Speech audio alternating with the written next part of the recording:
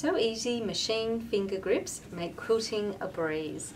So in the pack you get some multi-sized little grips there.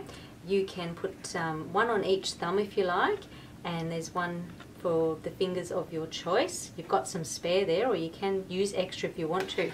But basically the rubber grips the fabric and it enables you to be able to move the fabric freely through your sewing machine.